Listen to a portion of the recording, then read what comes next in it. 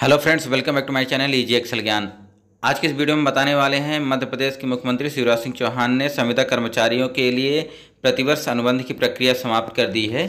इसकी पूरी जानकारी सत्यापित करने के लिए M P info dot O R G में जाकर के देख सकते हैं, या मैं डिस्क्रिप्शन में लिंक भी दे दूँगा। तो उन्होंने कई सारी महत्वपूर्ण घोषणाएँ की हैं, उसके लिए आप इसको पढ़ सकते हैं कि उन्होंने क्या क्या चीज़ें बता कर किया। तो प्रमुख घोषणाएँ जो हुई है, उसमें ये है कि संविदा कर्मचारियों की सेवाओं के लिए प्रतिवर्ष अनुबंध की प्रक्रिया समाप्त की जा रही है। हर साल कॉन्ट्रैक्ट रिन्यूअल होता था, वो बंद कर दिया जाएगा। संविदा कर्मचारियों को समय सीमा में नेशनल पेंशन स्कीम दिया जाएगा।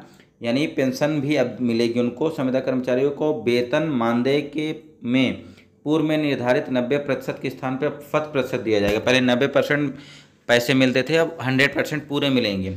संविदा कर्मचारियों को स्वास्थ्य बीमा का लाभ भी दिया जाएगा। इसके लिए आवश्यक गणना संबंधी कार्यवाही जल्दी चालू होगी। संविदा कर्मचारियों को अनुकंपा नियुक्ति होगी, उसका भी लाभ मिलेगा। साथ ही साथ रिटायरमेंट होने पर ग्रेजुटी की व्यवस्था की जाएगी।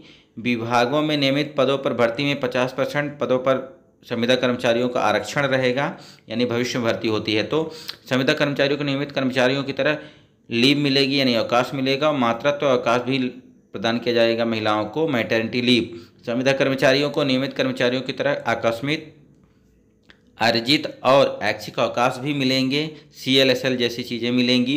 कुछ कारणों से संविदा कर्मचारियों की कटे वेतन की राशि वापस की जाएगी, इस पर केस कोई नहीं चलेगा।